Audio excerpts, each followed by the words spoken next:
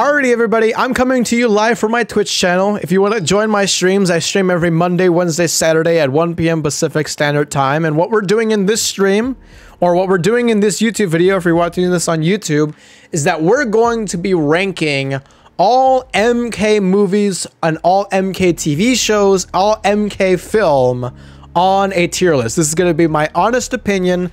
I've seen all of them for the most part, and I believe that I am ready to tell you guys which ones, which MK movies and shows I think are the best and which ones I think are the worst. Like which ones are the ones to go to and which ones are the ones to avoid and not watch. So if you enjoyed this video, make sure you drop a like on this video and subscribe for more videos like this. I'm very excited to get this started, so let's just jump into it. So what we're going to be including in this tier list is Mortal Kombat 1995, of course, Annihilation, The Journey Begins, Defenders of the Realm, Conquest, Rebirth, Legacy Season 1, and Legacy Season 2, Scorpion's Revenge, and then the Mortal Kombat 2021 movie. Be sure to let me know where you guys rank these movies and TV shows on your own tier list. I'll put the link in the description. And also, you guys can comment down below and let me know your rankings. Starting with the 95 movie, this is gonna go at S tier. Honestly, I think the meme of people saying that people are pretending to like this movie or people only pretend or this movie is actually bad,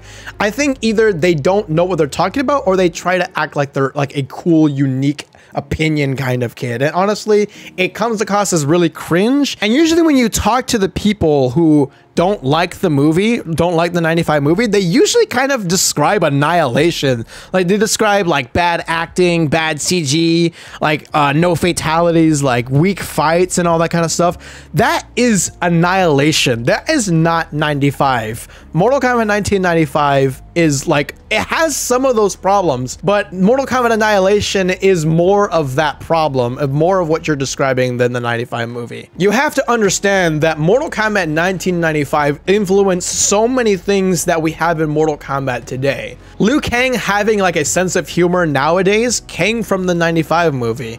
Johnny Cage being the funny guy came from the 95 movie. Sonya's persona came from the 95 movie. Kano being Australian came from the 95 movie. Like this movie impacted Mortal Kombat for the better. This changed Mortal Kombat forever, and that's why it's going at S tier. All right, so Mortal Kombat Annihilation. So to me, look, see, if I'm gonna be honest, I do not have a problem watching the uh, Annihilation. I will watch Annihilation any day of the fucking week. It is so hilariously bad. It is so funny. It is just so fucking funny and I I just love laughing and quoting the movie and and and just and making fun of it. It's so so so good to watch. It's so bad it's good. I just I love it. I love it. That's why I like watching Annihilation. That's why I prefer Annihilation over a lot of the movies that are on here. But if I'm gonna be honest, I I, I mean it has to be at F, right? It has to be at F. But because it, it's terrible. It's such a bad movie. I fucking hate it. Um, so be, actually, you know what? I'll put I'll put Annihilation at D tier because it makes it it gives you a good time. Like you're not miserable watching it. To me, at least not for me. I enjoy watching it because of how hilariously bad it is. So that's why I'm putting it at D tier. I'm going to put Annihilation at D tier. Now, I'll be honest, I have not watched Mortal Kombat The Journey Begins. Mortal Kombat The Journey Begins was basically like kind of like a prequel, like an animated movie to the 95 movie. It's terrible. It's really bad. It, it, it's basically F tier. Like I don't have any saving graces to it. Like we've we've reacted to some of the CG fight scenes uh, on the channel before. So if you want to check that out, go ahead and click the the description or the YouTube cards. But it, it's terrible. I, I I don't I didn't see the entire thing.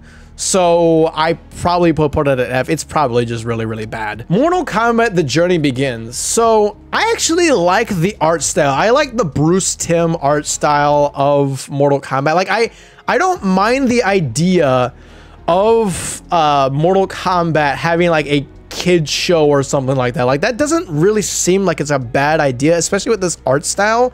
Um, I have not seen a lot of the episodes, but I am aware that there are actually good episodes in The Journey Begins. I believe the characterization or the Cabal episode in The Journey Begins, which I did see, uh, is a really good episode. Like that is the ideal cabal. It has the ideal cabal. I'm also aware that it also has a really good smoke episode. So the journey begins has some good things in there. But I don't think I would overall like give it like a pass as a series. So I'm just gonna be safe. This will probably change once I see the entire series. It's on YouTube, so I, will probably just catch it uh, someday. But I'll put it at D tier only because it does smoke very, very good and Cabal very, very good. It probably does other characters very, very well. That's like kind of like a placeholder uh, ranking right there. Now, Mortal Kombat Conquest. I recently did a Discord watch party of the entire series, and what usually what people say about Mortal Kombat Conquest is usually like, oh, it's such a good show, like it's such an underrated show. And I'll, I'll, be honest, guys. I'll be honest. The talking points of people are only pretending or only people are only like just just liking the good parts of Mortal Kombat 1995. I'm gonna be honest. I think people. I think that actually applies to Mortal Kombat Conquest. I I didn't hate the show, but it's it's it's not that good. If you guys are aware, I am planning to do a whole review, a whole like video essay, just a whole in-depth discussion or thought video on Mortal Kombat Conquest soon. It'll be up on my channel soon. So I don't want to give away too much of my thoughts in my review and my thoughts on the series here, but there is a ton, and I mean a ton of fucking cringe, a ton of fucking cringe in this show. Because there is softcore porn in this shit. There, uh, legitimate. I'm not joking. There is softcore porn in this shit. And there, there are some point. There are some points where it made me a little uncomfortable. But the good episodes are incredibly great. Like the good episodes, there's about like 10 of them. Those episodes are just so fucking good. But for now, I'm gonna put it at C tier. It's a it's a hit and miss series. It's a hit and miss Mortal Kombat piece of media. The quality of the good stuff is like around the quality of the good stuff in, uh, in Mortal Kombat 1995 the quality of the bad stuff is like annihilation or like the journey begins level of bad. Like it's it's it's literally 50-50. Now moving on to the modern adaptations of the Mortal Kombat series, starting with Mortal Kombat Rebirth. Now, if you know anything about Rebirth, Mortal Kombat Rebirth is basically the fan film that Kevin Tancharoen made to get WB's attention so he can make a movie. Now, he didn't get the movie, but he did get the TV show, which was Mortal Kombat Legacy Season 1 and Mortal Kombat Legacy Season 2. So Mortal Kombat Rebirth was a fan film to get WB's attention. And honestly, bro, this shit is so dude, that this shit is so not Mortal Kombat. This is like this is like going at like F tier. I saw when this thing came out, this was like in 2010, I believe, or 2011. I don't remember when it was, but I was a kid. When that trailer came out, I was like, dude, this is not Mortal Kombat. And you would think that me as a kid who doesn't really know that much about Mortal Kombat, and I didn't, would think that this is so awesome. Like, oh my god, I'm so fucking excited for a new Mortal Kombat movie, or like, oh, what is this? Like, oh, like, you would think that's how it act. No, like, even as a kid, I was just like, dude, what the fuck? Like, what the fuck is that Baraka? What the fuck is that reptile? What the fuck is that Sub-Zero mask? Like, I don't even know what the hell was going on. Look, gritty realism just does not work with Mortal Kombat. It never did. And anytime you attempt to do it, it just comes across as really cringe and too like try hard, edgy, like cool, different take. When really you're just taking the core of Mortal Kombat, erasing it, and just using the names of the franchise and using the name of the characters just for the recognizability factor. Everything else is just a completely new and like original story that's just not Mortal Kombat. You're just taking the Mortal Kombat name and you're mixing it in with something that's just not Mortal Kombat. Now, thankfully, Mortal Kombat Legacy Season 1 didn't do the whole like psycho killers and an underground street tournament called Mortal Kombat. They actually did dive into the actual Mortal Kombat magic and lore and things like that. And, you know, Mortal Kombat Legacy Season 1 is not that bad.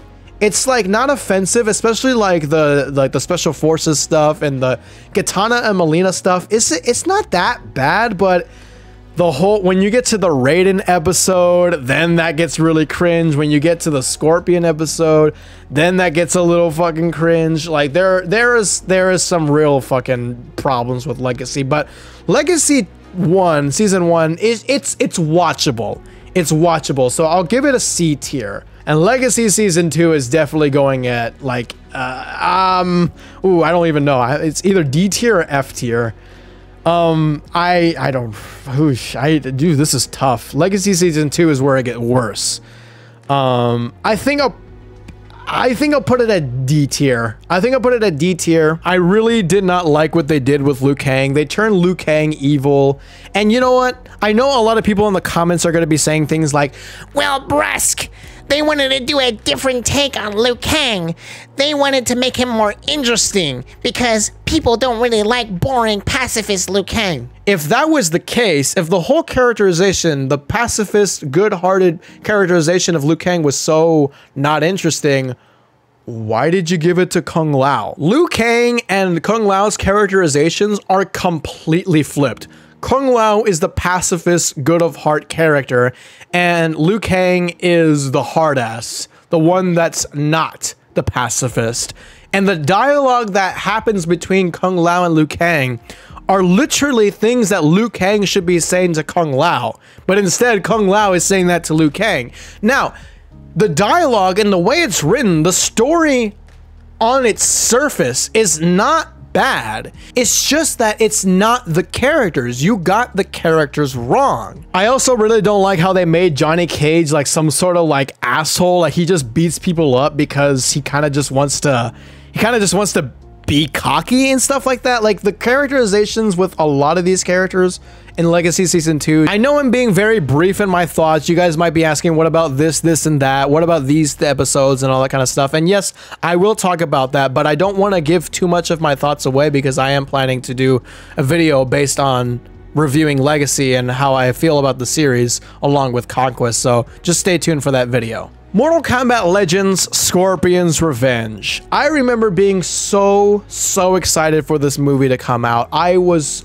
so determined so determined to pay for this movie, to watch it as soon as it dropped on demand. And guess what? When I watched it, I felt, I literally felt like how people who grew up in the 95 movie felt when they came out of the theater. I felt like I got my 95 movie experience with Scorpion's Revenge. I do have problems with the movie, yes. These are not perfect. Just because they're on S tier which I'm gonna put it at S tier. Just because they're S tier doesn't mean they don't have problems, but any movie that's on S tier should be the gold standard of Mortal Kombat films and adaptations. If you want to adapt Mortal Kombat, or if you want to get started with Mortal Kombat, or if you just want to just know what Mortal Kombat is, what's the gold standard? What inspirations should future MK Media take from? And I think the Mortal Kombat 1995 movie and Mortal Kombat Legends Scorpion's Revenge are those movies. Mortal Kombat Legends and Mortal Kombat 1995 go together like peanut butter and jelly. You kind of have to have both to really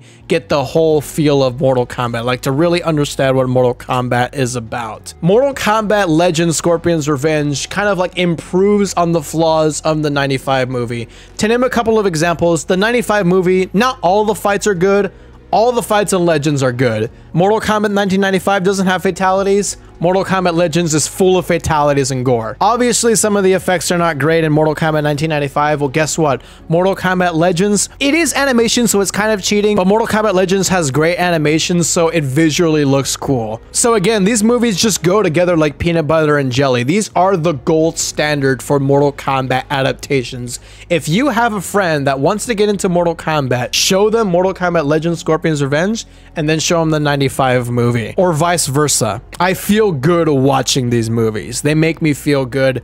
They make me, re they remind me of why I like Mortal Kombat. They give me such a good time. So yeah, they go at S tier. What do I think the Mortal Kombat 2021 movie lands for me on a tier list? Everybody knows my thoughts on the movie. I really don't have to explain too much. If you want to know my full thoughts on it, you guys can check my YouTube videos about it. I know I'm going to offend some people, but you know what? I'm sorry to say it's going at F tier at its core, it feels like it's ashamed of what it's doing. It feels like it has to explain the ridiculousness of Mortal Kombat. Why do these characters have powers? Well, they have this dumb tattoo to explain why they have powers. The characters just show up just to show up. Nobody really gets character development besides Kano and Cole Young. And the character development of Cole Young is just not good. And holy shit, I don't ever want to think about that Goro versus Cole Young fight. I really don't ever want to think about that ever fucking again. That that is offensive. That is literally offensive. I don't want to spend too much time talking about MK 2021. It just makes me miserable talking about it. But yeah, that's where I'm going to put it at. I'm going to put it at F tier. It, it, it's definitely something I never, ever really want to watch again. I know that tier list is going to be a little controversial. I'm, I'm prepared for it. One of my last tier list videos was a little controversial as well. But you guys know me as an honest guy. You guys know I'm not fake. That is my honest opinion. Let me know your tier list in the comments below. Let me know your thoughts on my tier list in the comments below. If you enjoyed this video, make sure you drop a big thumbs up and subscribe so you never miss a video from me. I'll see you guys in the next video.